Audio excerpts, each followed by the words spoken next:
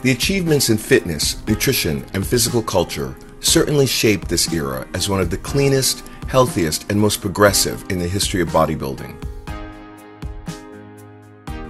Without any chemical supplements or additions, bodybuilders in that time were purely natural, showcasing the true strength of their muscles and the true potential in their bodies. Because of this reason alone, most people see this era as one of the most important in the history of bodybuilding.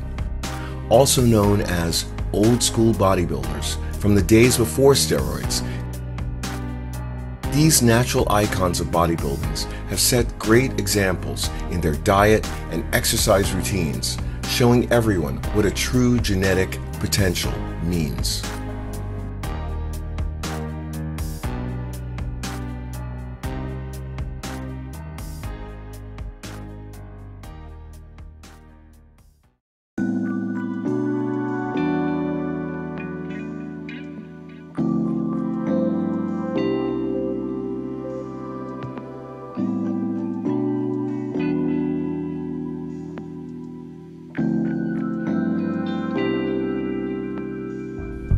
Vladislav Kucharchuk, or Bobby Pandour, is one of the most fascinating physical culturists of the late 19th and early 20th century. A gymnast by trade who published little in the way of training material, Pandour is widely regarded as having possessed one of the finest physiques of his time. The fact that he claimed to have built it without the use of heavy weights adds to Pandour's mystique.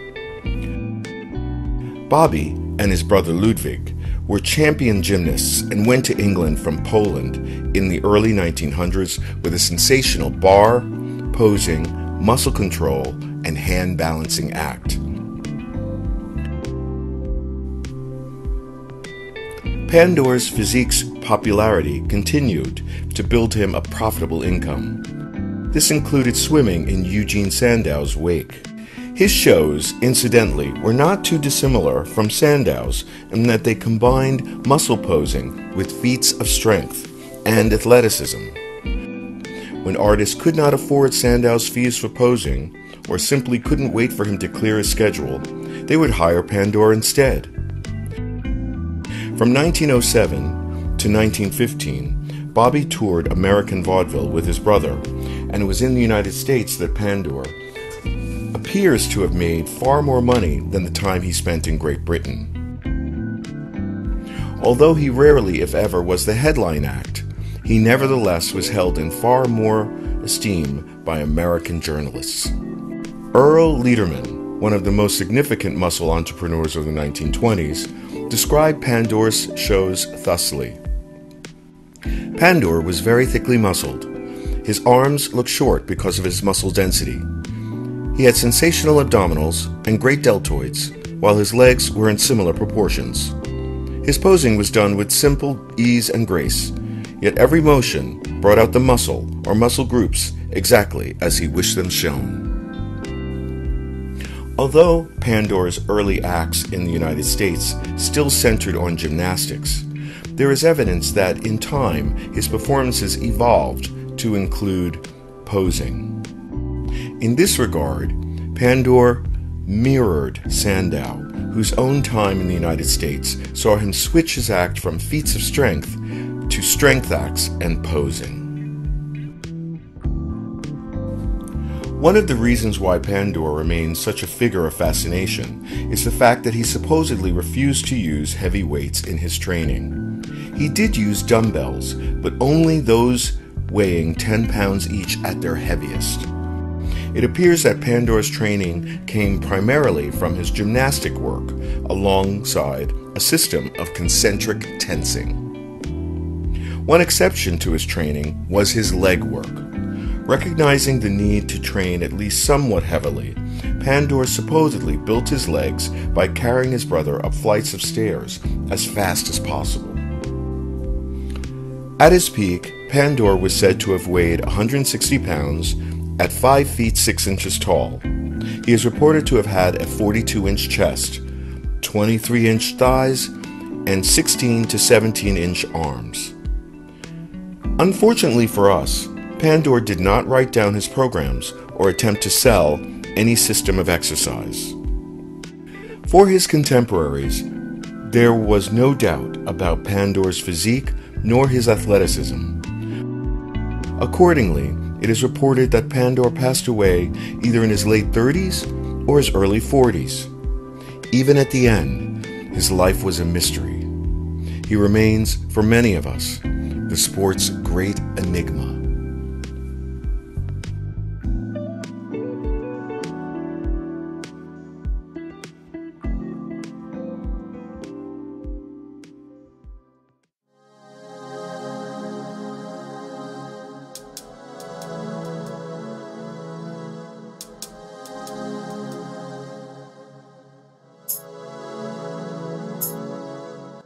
Physique wise, Gustav Fristensky was said by many to be as impressive as Sandow, but because he is not as well known, did not get his due. Regardless, Fristensky was certainly an exemplary strength athlete, as both his lifts and wrestling achievements show. Moving to Brno, Gustav became interested in many sports, specifically wrestling. As soon as he entered, he won the first prize and started to travel for sporting events within the country, defeating many popular wrestlers from Prague and German clubs in Brno. After he won the Championship of Austria, Gustav realized that he is very powerful and can do the famous Continental Press with 308 pounds of weight. The Continental press was exactly what brought Gustav the first prize at the World Physique Championship in 1903. At 6 foot tall, with 220 pounds, Gustav was one of the best built Victorian bodybuilders to ever step on the scene. He had the perfect genetics for bodybuilding. However, Gustav Fristensky met his bitter end during the Great War when he was sent to a German concentration camp. Even though he suffered in health and survived the war, he died in 1957 at the age of 78. There is a statue of Gustav Fristensky in Prague with the title Mr. Czechoslovakia written beneath. Many of his medals are also on display.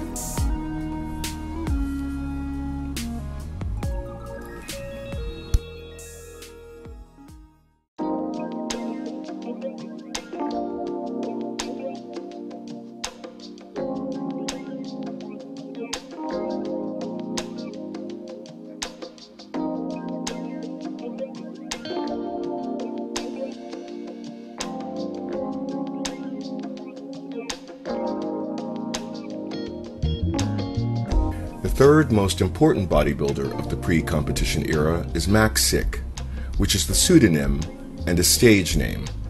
To this day, his real name remains unknown. What was interesting about Mac was his height. At only 5 feet tall, he had a reputation for one of the best trained champion bodybuilders. Starting from his studio and mastering a lot of tricks, Mac's greatest trick was the total muscle control flexing and moving each muscle of his body almost independently. This trick made Maxick famous and gave birth to the phrase rippling muscles. The Great War also took a toll on Maxick's life. It is safe to say that the world changed after him and put an end to an era known as the pre-competition era in bodybuilding.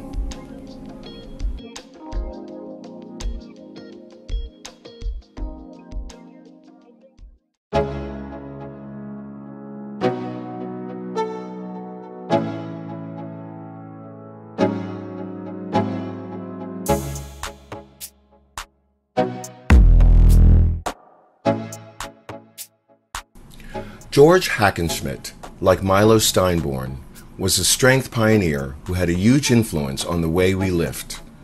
While Steinborn is often considered one of the founding fathers of how we squat today, the Steinborn squat, Hackenschmidt is usually credited as the originator of the bench press and hack squat. The bench press has become an upper body staple in most workout gyms, while the hack squat is a common lower body accessory.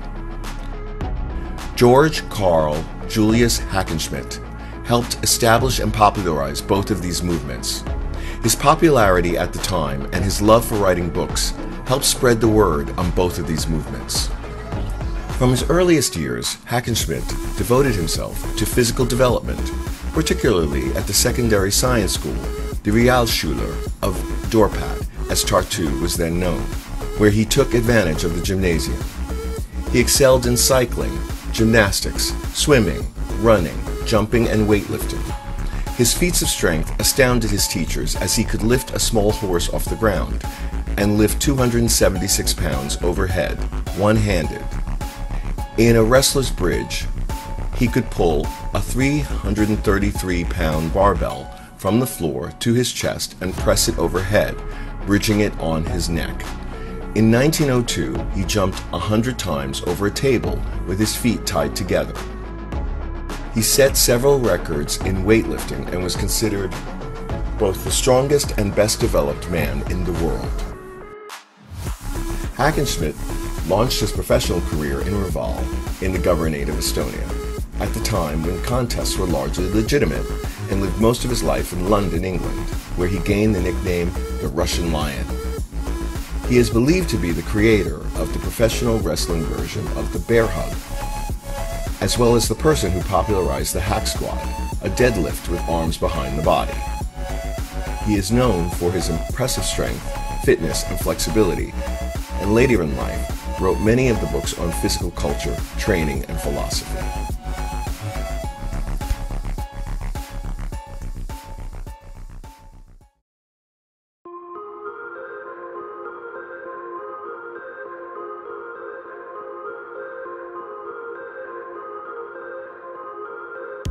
Bernard Macfadden was known for his teachings of physical culture, a combination of bodybuilding with nutritional and health theories.